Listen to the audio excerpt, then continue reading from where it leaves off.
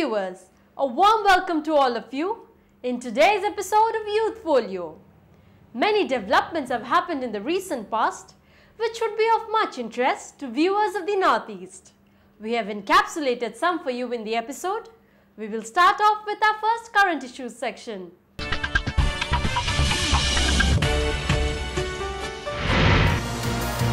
Rajiv Mehrishi becomes India's new Home Secretary.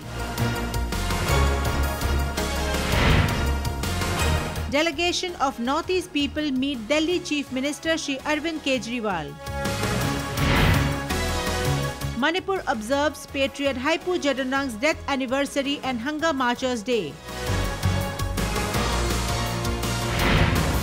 Indira Gandhi National Centre for Arts holds Northeast exhibition during Hariyali Teej Festival. Mobile towers are not health hazards, says BSNL Northeast Chief General Manager. Manipur's tribal students protest against inner line permit. Manipur's press gets new blue jackets.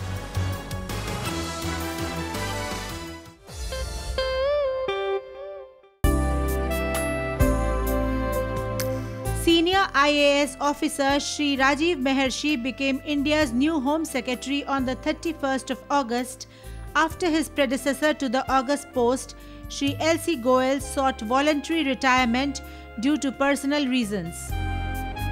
Sri Mehrishi is a 1978 batch IAS officer of Rajasthan cadre who was previously secretary in Department of Economic Affairs. He is an alumnus of Delhi's famous St. Stephen's College and has a management degree from the United Kingdom.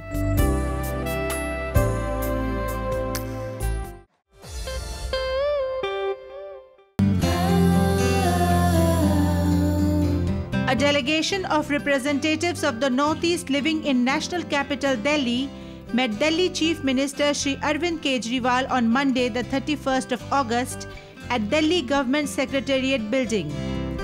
The delegation presented a Naga jacket to the Delhi Chief Minister before handing over a memorandum of demands. The Northeast representatives have asked for setting up of a Northeast India Support Cell and Monitoring Committee in New Delhi to help the state government to solve various outstanding problems related to the 6 to 7 lakh Northeast populace living in Delhi.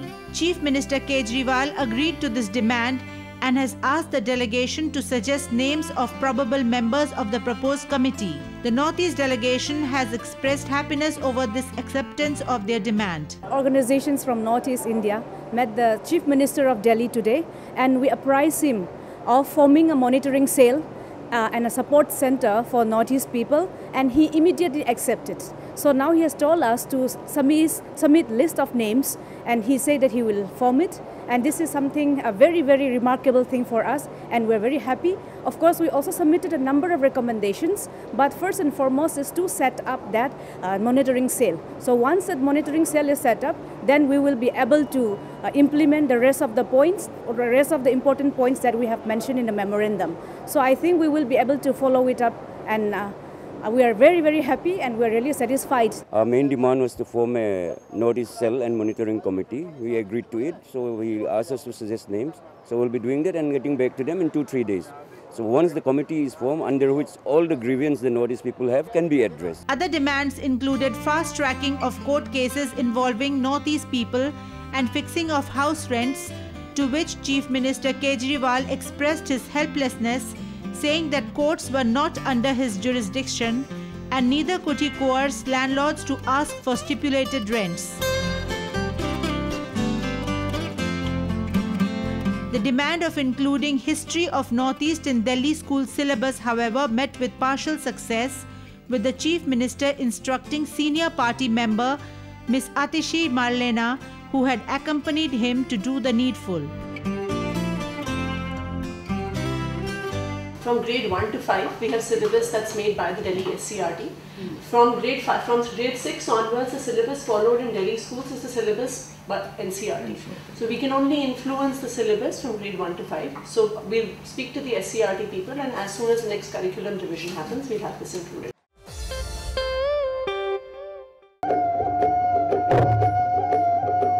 50th Hunger Marchers Day or Chaklam Khongchat was observed in Manipur on the 27th of August with people taking out a huge procession from Pishum Chinga Macha to Manipur College in Singjamei. The day commemorates the historic event when four persons, including three student activists, died in police firing during student agitations against artificial rice shortage.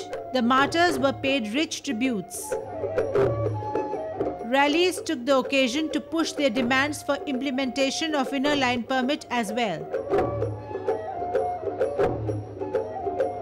Along with Hunger Marchers Day, Manipur also observed the 84th death anniversary of their great freedom fighter Haipu Jadonang, who had fought the British. A statue of the great hero was unveiled by the Chief Minister Sri O. Ibobi Singh with Deputy Chief Minister Gaikhangam in tow.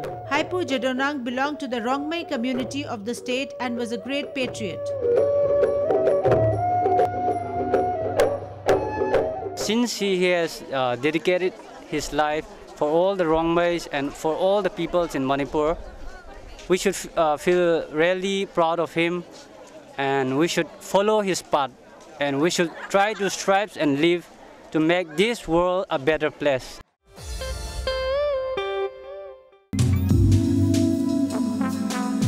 The Indira Gandhi National Centre for Arts or IGNCA took another big step to promote artisans of the Northeast by focusing on the region in an exhibition promoting Northeast crafts through its recently concluded Hariyali Teej festival held in New Delhi. The festival's display of masks from Arunachal Pradesh were much liked by the visiting crowds. These masks form an important part of culture in Arunachal Pradesh. The famous Aji Lamu and other dances see dancers wearing masks depicting both good and evil.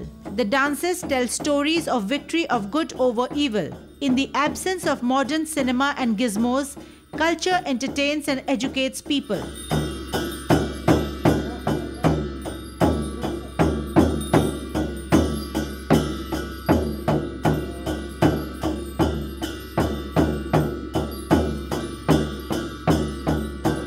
Apart from masks, the Hariyali Teej festival also included displays of handloom items from the northeast, baskets, and other items which were educative about life in the region. Exhibitions like this or any events like this which are organized for the northeast should be like encouraged so that the people here comes to know about the northeast about all the states in the northeast uh, that it's more than insurgency and it has to uh, it has a very rich and diverse culture there so um, I think this is a very great idea to have exhibitions, any occasions which are related to the Northeast so that it gives us all an idea about how the Northeast India is like. We emphasized on the creative side of Northeast India. Now, always when it is like Northeast, the insurgency problem is always highlighted. But it, apart from that, it has got a very rich and colorful uh, heritage, both tangible, intangible, art and craft and all. So we handpicked some objects from all the eight states. Like, you know, we have got some very beautiful head hunting shawls of the Naga tribes.